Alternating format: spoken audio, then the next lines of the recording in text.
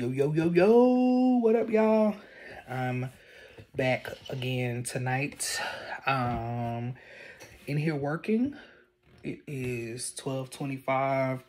Um, doing a little dual work, working on something for church and finishing up some shirts that I gotta finish. Um, but uh anybody who's been following me for a while, y'all know I've said that I wanted to do like a little web series, web show, blah, blah, blah, little chat session, whatever. Um, not sure how it's gonna go. Like right now, y'all just getting these unofficial videos. Like, listen, I'm just I'm just tapping in and giving y'all something. Of course, y'all know Smack. Y'all know the name. So this particular shirt I made a long time ago. Um, for Smack. It's like a one of one. Um, and it has, you know, servant leadership, mentorship, academic excellence, and community service on my shirt. That is my nonprofit organization that I share with my three best friends, Tori Swain, Quentin Moyer, and Alexander Addison, AJ. Um, so yeah, we started that uh three years ago. Um, our crew when we were growing up was called Smack. It's essentially the first initial of all of our last names, Swain, Moyer, Addison, and Cruz. And it doubles for the meaning of our four focus areas for our nonprofit as on my shirt, servant leadership, mentorship, academic excellence, and community service. Um, so yeah, if you want to get a smack shirt, shameless plug, holler at me, let me know. I definitely get you one. Like I said, this one that I have on, it's the only one that I made because I was just trying different things. Um, but anywho, just wanted to come to you guys on tonight, um, just to kind of have a little, you know, a little chat session, just to talk about some things. Um, nothing major is is is really really going on. Um, but I just wanted to share this video that I just watched. Um, I'm sure you guys, like the rest of the world, is following uh, Miss Tabitha Brown. Um, I was just scrolling Instagram and one of her, well, her video popped up, you know, stating that she had been nominated for an NAACP award. Congratulations, Miss Tab. Um, I'm sure y'all probably like, why y'all call her Miss Tab? I'm sorry, that's just how I was raised. So let me just go ahead and tell y'all that anybody who is older than me it's just for me it's just a respect issue. Um i call them mr or mrs you know unless they blatantly tell me stop calling me that. And it sometimes it's hard because that's just kind of how my parents raised me. Um even if you know you are only a year or two older than me i remember being at church and some of the people that I go to church with that I've known all my life, they're only like maybe four or five years older than me, and I call them Mr. and Mrs. and they be like, "Why do you call me that?" And I'm just like, "It's a respect thing. Um, it, it's just a respect thing, and it's."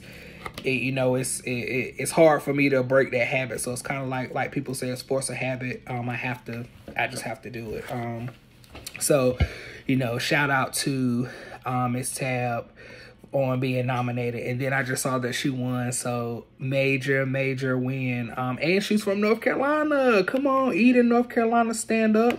But um I was looking at the video that she had posted um you know with her and her husband at you know the watch party at their home um in California on tonight prior to you know the um, after show coming on where they, you know, announced the award where she won. So of course, you know me, sometimes like if I see something on somebody's page, something always tells me, like, let's go back and look at some of their other videos. Like even though I may have seen them in passing, but let's go look back at one of them. And the video that I just um scrolled past was one where she was talking about um how she used to care for her mom um, who had ALS and she was like, you know, this particular time she was staying at her mom's um, home in North Carolina and she, you know, had been taking care of her or what have you, but she woke up in the middle of the night and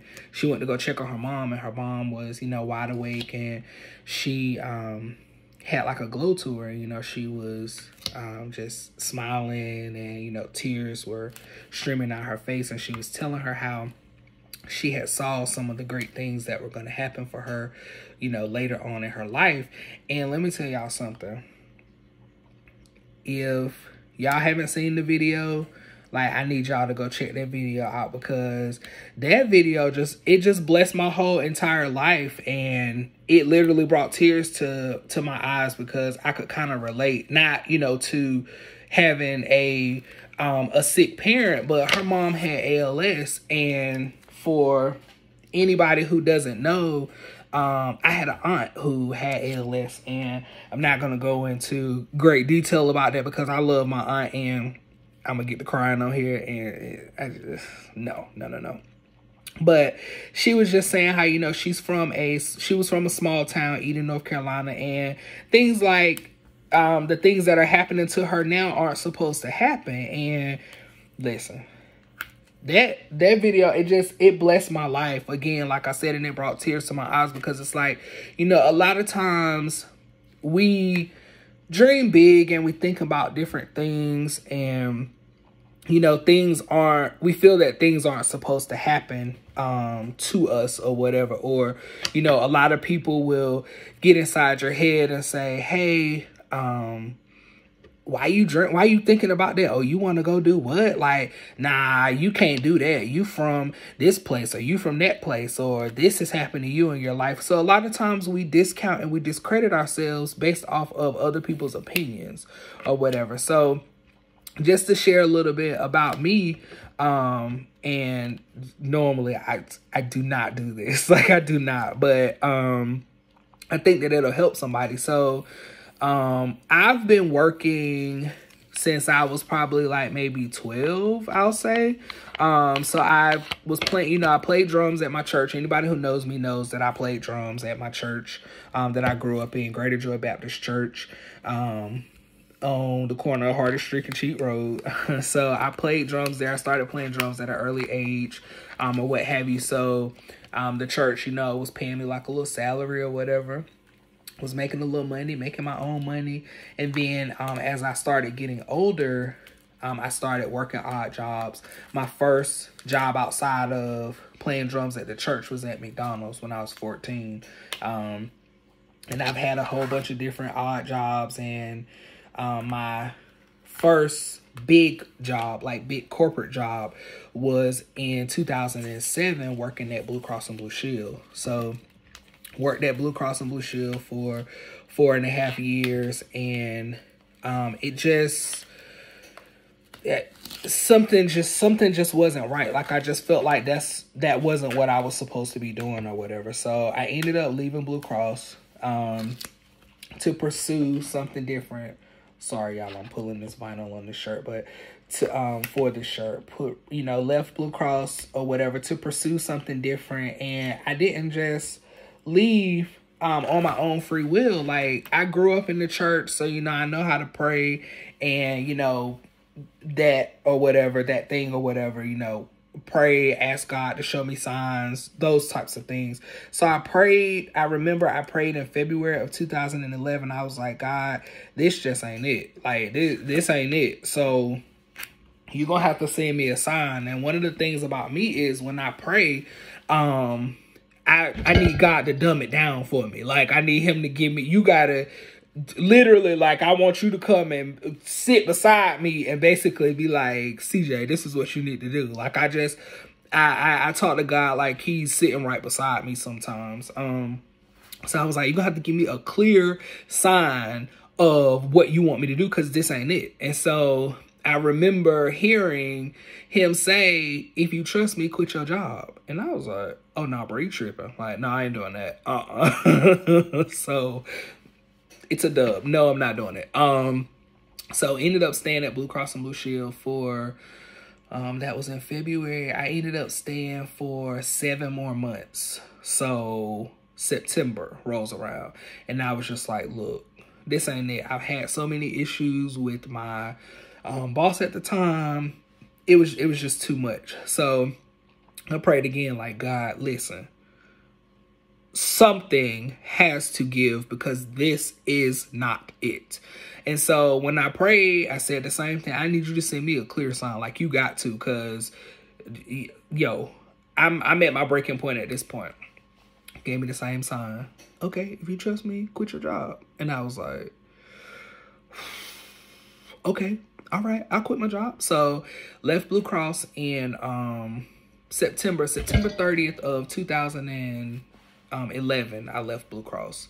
Um, and I went to work at my church full time you know, long story short, um, I joined the media team at church um, because I've always wanted to do something in um, production. You know, that's always kind of been in the back of my mind. So when I first went to school, I um, wanted to major in CIS, Computer Information Systems. And I was like, mm, no, I don't really want to do that. Let's do something in accounting because, you know, math is my favorite subject. So switch my major when I switched schools. Um, from Johnson C. Smith to Winston-Salem State. And I was like, my ma new major is accounting. That's it. That's it. So I was like, mm, nah, this ain't it either. Like I still got the production in the back of my mind. So um both of my parents will tell you I've always been into music and like BET. I always watched BET growing up. Um, I remember, you know, the old shows that used to come on Video Soul, um, Video Vibrations, Caribbean Rhythms, um, different things like that on um, on BET. Um, and I was always into music. Like I was always heavy, heavy into music. So at a young age, I was like, ooh, I'm going to work for BET one day. Like that's what I'm going to do. So um, eventually I changed my major to mass communications. And um, it's just like that particular world it didn't really pop for me. Like you know i applied for a bunch of different jobs. I um saw some jobs on BET i applied for a couple jobs or whatever and it was just like nothing. So um i like i said i was working at my church. I had a couple odd jobs worked at a hair salon like me at a hair salon working at the front desk. Um i worked at a sweepstakes like me me these are the things that i did. So um, and eventually I ended up going back to Blue Cross. Um, so I went back to Blue Cross in 2013 in September of 2013. So a little less than two years um, after I left Blue Cross, I went back September 16th of 2013. Started again as a temp. Um, kind of worked my way up, you know, was promoted a couple times. Um, and then um, after a while, it was just like, I got I got that itch again, like God. I, I'm not happy. Like this ain't it. This ain't it. So you got to give me something. And I, I originally got that itch back in 2007, and it was it's so crazy because that was four years um, after I had been back at Blue Cross, and so it was around the same time. You know, four years again. I don't know what it is about four, but at, at that four year mark, I was just like, yo, this ain't it. Um, I don't, I don't, I don't really, I'm, I'm not really happy. It's not, um, I, I ultimately don't want to work here long term.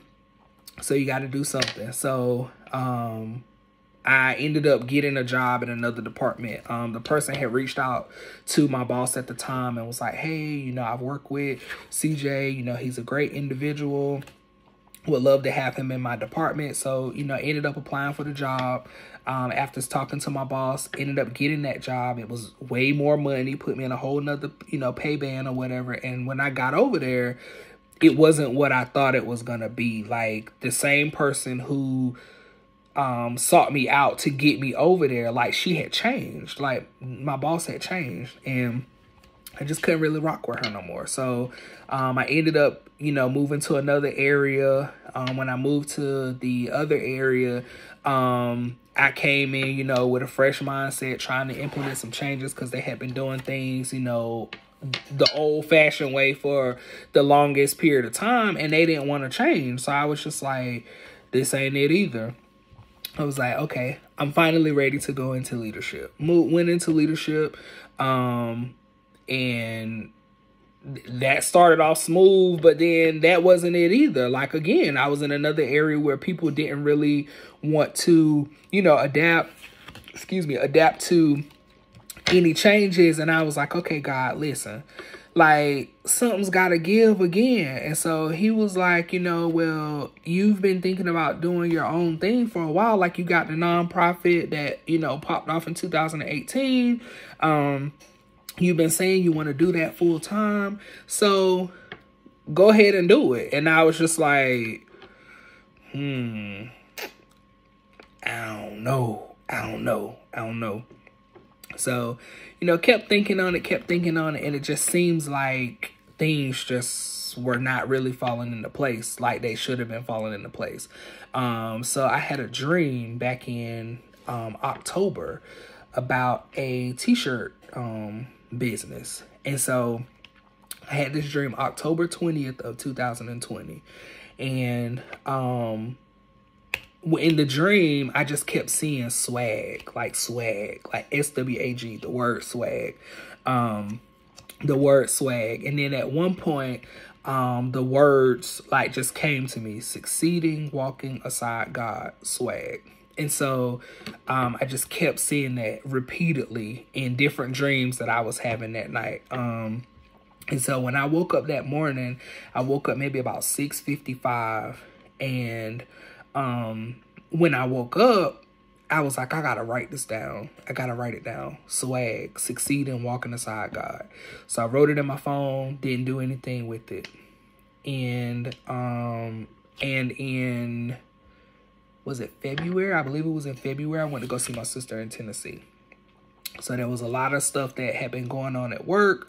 Um, just a bunch of different issues with an employee and all this crazy stuff or whatever. And I decided that, you know what?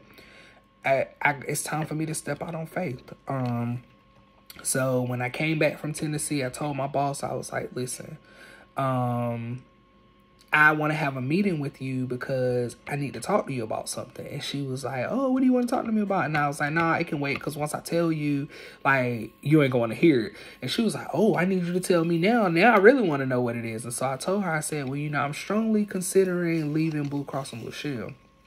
Her response was, Oh, I don't want to hear that foolishness. Oh, what? You what? No, no, uh uh. We'll talk about it on Monday. And so, um, on March, so I ended, you know, ended up meeting with her on March 3rd of 2021 this year. Um, I submitted my resignation. I was just like, you know, okay, God, like, I, I, I trust you, and I just, you know, I, I, I, I don't know. Like, I'm just going, to I'm gonna step out there. Like, I feel like this is you that is, you know, telling me to, um, to do this. So I kind of just, you know, stepped out on faith. And March 19th, well, March, let me back up, March 5th, um, I launched my clothing company, Swag Clothing um, Incorporated. And so launched it on the 5th of March and immediately it was like an overnight success. Like people were wanting these shirts left and right. Um, so each Friday in March, I've dropped a different shirt.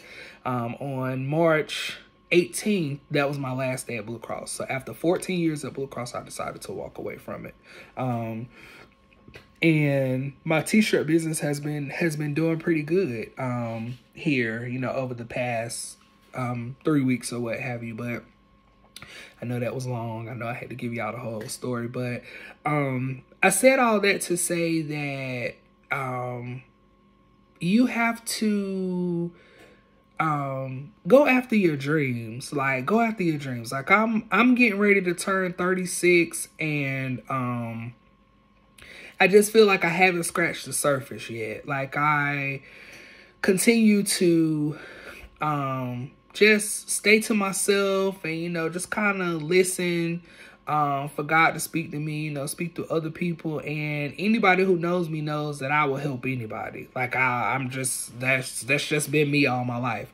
Um, I will talk to anybody. I'll help anybody. I'll give people the shirt off my back. Um, a lot of times I like to give people the benefit of the doubt. My brother always jokes and says that um, I take the Martin Luther King Jr. approach and he'll take the Malcolm X approach. so he says that all the time. Um, but you have to you have to go after your dreams, and I don't know who who this message is for, but you just have to pray and you know seek God's guidance and you know go just go after your dreams like you have to. Um, you know, am I scared? Yes. Am I nervous? Yes. Like, do I feel like I want to go back to Blue Cross like tomorrow? Yes.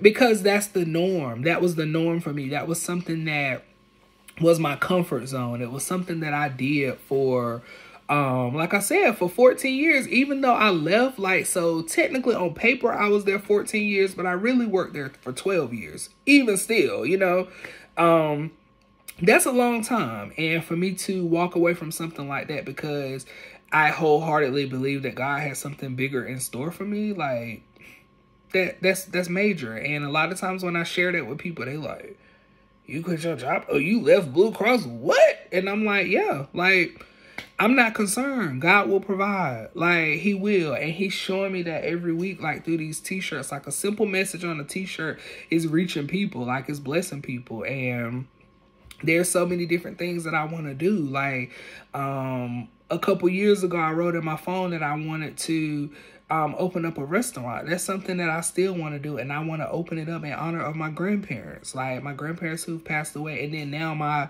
my aunt, you know, who passed away last year um, of ALS. Like my aunt, let me tell you something. Hattie Ghostin, like, listen, that lady, like, she she was like the ultimate like baker, the ultimate chef. Like it, there's just so much that I could say um about my aunt. And you know she she that's that's all she knew. Like she always helped people. Like she never met a stranger. And so um a lot of times when i'm in here you know cooking or you know just deciding to try something new or deciding to bake something like I always say like we that's that's my aunt Pig. We call her we call her Pig. That's my aunt Pig. So when I was here the other week and I was baking a cake, um I was like, all right, come on, Aunt Pig. Like, you got to help me out. You got to help me out now. she she would always, anytime we had Sunday dinners at my parents' house, she'd be like, "Oh, nephew, you cooked that right there." So it's like you know things like that. Um, I I really miss, like I really miss that um about her, and um yeah, yeah, I really I really miss that. Like I said, I can't really you know talk too much about it because I'll start crying and I ain't trying to do that. Um, but I, I really miss those. I really miss those things about her. Um, and I just ultimately just want to make everybody proud of me. Like that's just that's just what I want to do. And I know a lot of people say, "Well, bro, you be helping everybody. Like you're always doing this. Like let me know what I can do to help." And I'm just the type of person where um, I don't really like to ask people for things. Um, it's not that I'm super, super, you know, prideful or anything like that, but it's just that if like like with my shirt business for instance all my friends keep saying bro like you need me like my boys will say bro you need me to help me help you with something? Like let me know man. I'll come over there and i'll help you. And i guess i look at it from the standpoint of like other people have things going on. So if it's something that i can just get done like yeah it may take me a little longer you know to get everything done but um, I'll go ahead and do it. Like it's okay. Like I don't I don't want to be a burden on anybody um else. So it's always often hard for me to ask people um for help, but I've you know learned a whole lot of different things over this past week like a um a guy who goes to my church like I've been helping him you know with his line or whatever and I'll just tell y'all just to be perfectly honest like I didn't think me and this dude was gonna be friends like we just won't. Like I, am a people watcher, so I peg people in my head. Like when I when I meet them, and I just be like, oh no, like, mm-mm. nah, it's not gonna happen. But it just seems like those same people that um I say that about like God is putting me back in front of them like oh here you gotta go help them or oh hey they're gonna help you so it's just it's it's really really crazy um how things, you know, are kind of aligning for me and how things are, are how things are falling into place. Um, but you know, like Miss Tab said in, in her video, um, continue you know continue to dream big. Continue to go after those things that people say that you can't have. Again i'm about to be 36 in june and some people may say oh you still trying to get the BET at 36 yes i am. Because I believe that in my heart, I'm going to get to BET. And I tell my friends all the time, listen, if I get to BET, if I make it, we all going to make it cuz I don't I don't just believe in, you know, getting there and being super super arrogant. Like I believe that when I get to BET and they create this position for me and they give me an opportunity, I'm going to bring my friends along and I'm going to give them the same opportunity because like my bishop says all the time, like it ain't no fun if my homies can't have none. So, why I'm going to get to BET in front of all these people people that I don't know that got different relationships or whatever and just be out there trying to wing it on my own. Nah, bring my people in too. Like we all come on y'all, we all finna make it. Like we gonna all get out here and we gonna all go out here and grind because that's just the type of person that I am. Like I'm always here to to help others and bring others along. Like, I don't care if it's 5,000 people that's out here making t-shirts. I don't care. Like I told um Will, the guy, you know, that I'm helping or whatever. I was like, listen, Will, like, bro, I don't care. Like, I got a t-shirt line. If you launch your own t-shirt line, you tell, you let me know what I can do to help you. Like, I don't care. I may get out here and sell five shirts. And by me helping you, you get out there and you sell 5,000 t-shirts. I don't care. Like I did I did my part. I helped you. And a lot of times, you know, us as African Americans or black people, you know, whatever you you know want to want to say, um we have that crab in the barrel mentality. Like we feel like, "Oh, I can't help Johnny over here." you know, launch his business or show him what I know because Johnny know 5,000 people. I only know 3,000 people. So that mean that he going to make 2,000 more, you know, customers or he going to, you know, make more money than I make because he know more people than I know. No, bro, like it's enough out here for everybody to eat. Again, it's enough out here for everybody to eat. Like, and so if we stop trying to one up each other and stop trying to make it seem like, you know, I don't want to help this person because they doing the same thing that I'm doing, you'll be further along than, than what you will be. And you never know. I say it all the time. That same person that you throw away that you don't want to help will be the very person that God may use to bless you. So I, yes, I don't mind helping Johnny. Who cares if Johnny has a bigger following than me? So what? So what?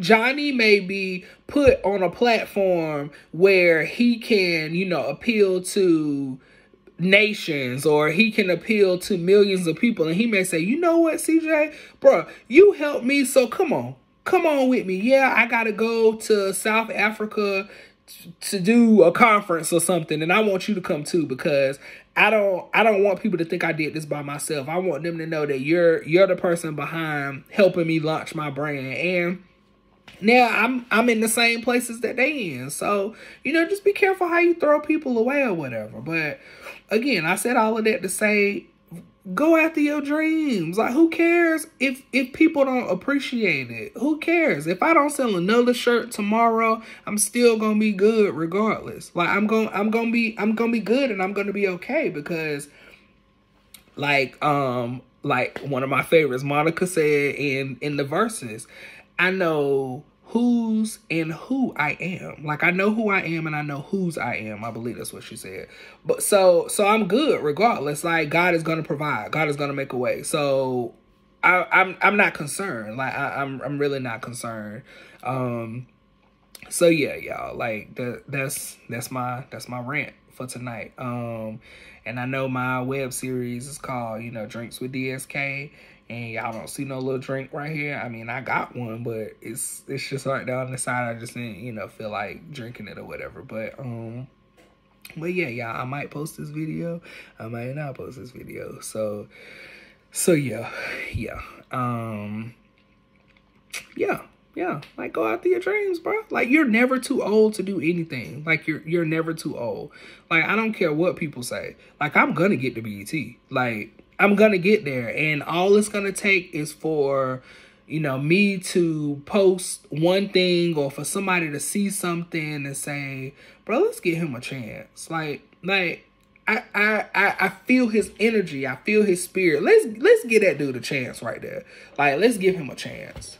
And once they do that, that's that's all it's gonna take. All I need is an opportunity. All I need is a chance. Um. So yeah, that's it, y'all. I think my allergies are starting to cut up, but um. But that's it, y'all. Like, yeah, that, that's that's all that's all I got for y'all tonight. Um, again, y'all trying to get the shirt, you know, shameless plug, smack, you know, get your shirt or whatever. Um, but yeah, y'all, you know, I ain't got no, no, you know, no major major clothes, um, for y'all or whatever. I'm gonna just say, you know, be good. Like one of my one of my people used to say, um, be good or be good at it. Um, that's it. So, yeah, y'all. Until next time, peace.